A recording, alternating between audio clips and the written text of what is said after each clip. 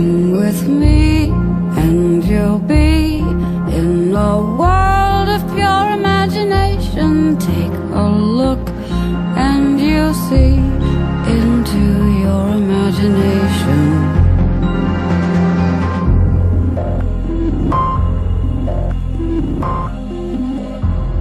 We'll begin with the spirit.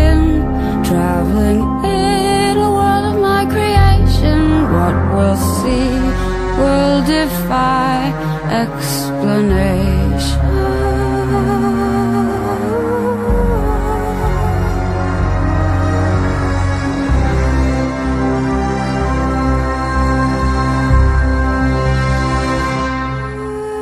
If you want to view paradise, simply look around and view it.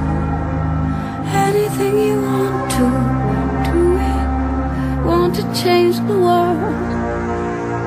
There's nothing to